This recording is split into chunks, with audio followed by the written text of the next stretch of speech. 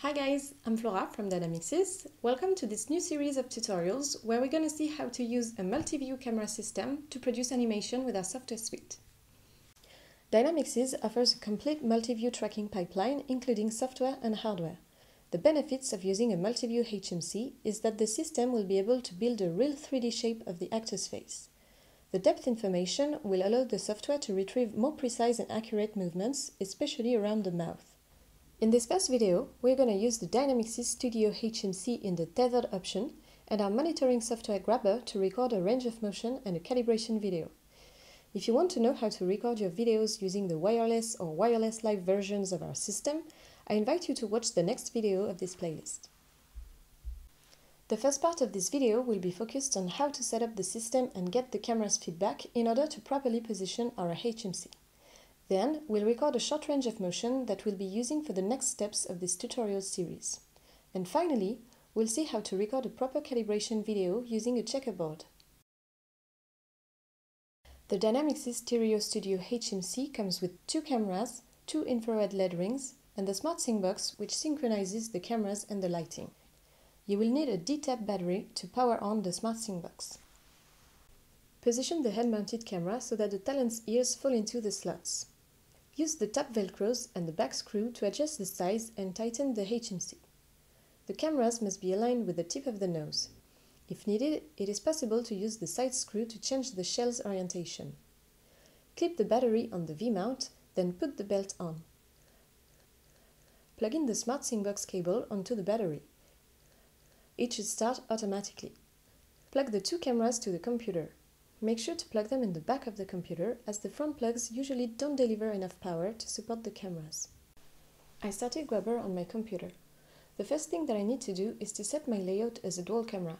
Since I'm using a horizontal HMC, I'll select 2H, two cameras arranged horizontally.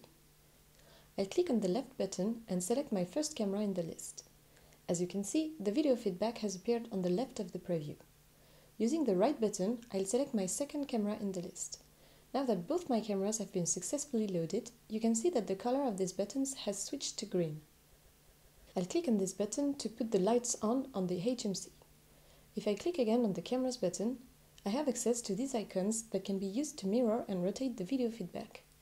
Whether the previews are facing each other or displayed in the opposite directions is not important.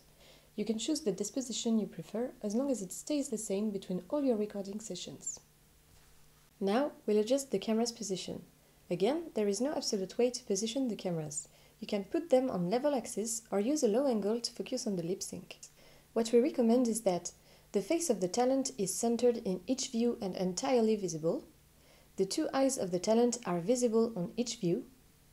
You need to be able to see the eyebrows moving and the chin must not go out of the frame on extreme mouth openings.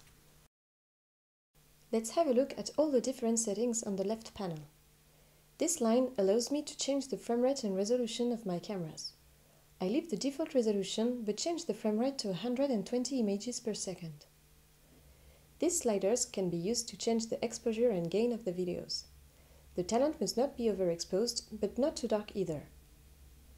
This line indicates that the hardware has been synchronized by the SmartSync box. This button can switch the lighting on and off. Audio is not recorded by default. To enable the audio recording, I'll select my microphone in the list. As you can see, the VU meter is now enabled.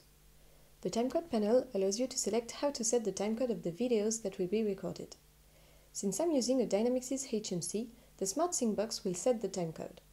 This can be very useful if you are using multiple HMCs synchronized by a timecode server.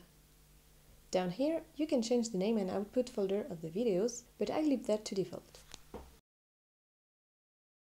The range of motion is a convenient way to gather a set of expressions in one video that will be used as a base to create the animation profile.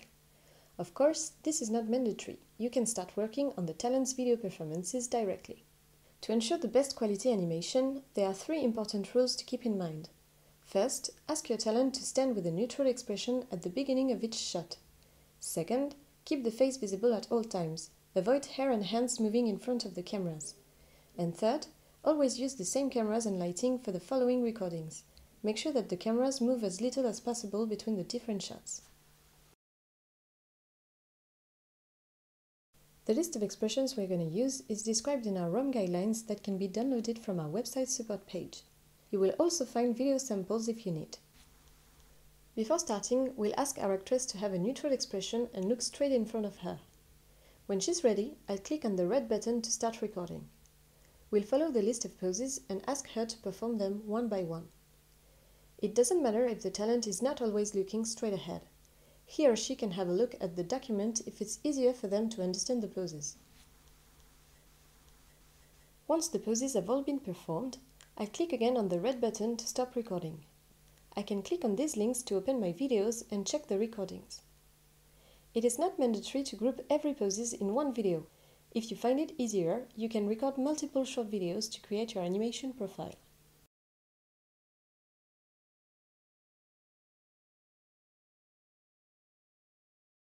When using a multi-view system, there is no unique way to position the cameras. We need to record a calibration video.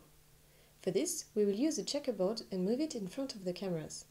This video, along with the checkerboard description, will be used by Performer to estimate the camera's properties and disposition. This is a mandatory step in the Dynamixyz multi-view pipeline. It is preferable to remove the HMC to better move the checkerboard around. Be very careful when you remove the HMC that you don't touch the cameras. I'll click again on the red button to start recording. I'll hold the HMC in one hand while my other hand moves the checkerboard in front of the cameras. I'll make sure that my checkerboard is entirely visible on both previews and move it in every direction, including the depth. A 30 seconds to 1 minute video is enough. To stop the recording, I'll click again on the red button. We now have everything to start working on our animation profile. But before that, we will show you in the next video how to do the recordings using a Dynamixyz wireless or wireless live system. Thank you for watching and if you have any questions, you can reach us at support at. Bye!